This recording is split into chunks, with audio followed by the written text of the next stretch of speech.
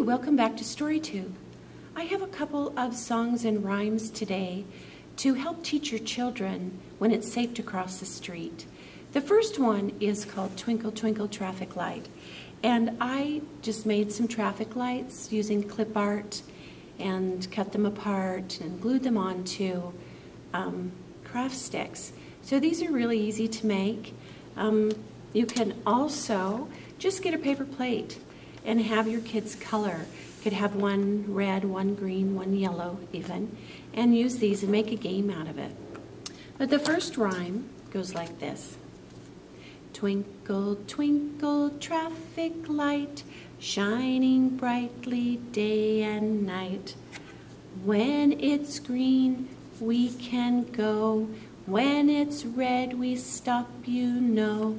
Twinkle, twinkle, traffic light, shining brightly day and night. So that's a real easy and fun rhyme to remember. The next one is called Stop, Look, and Listen. Stop, look, and listen before you cross the street. First you use your eyes and ears, then you use your feet.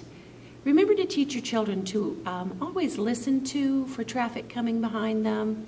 They may not be able to see that car, but they might be able to hear it. Let's try that one again. Stop, look, and listen before you cross the street. First you use your eyes and ears, and then you use your feet.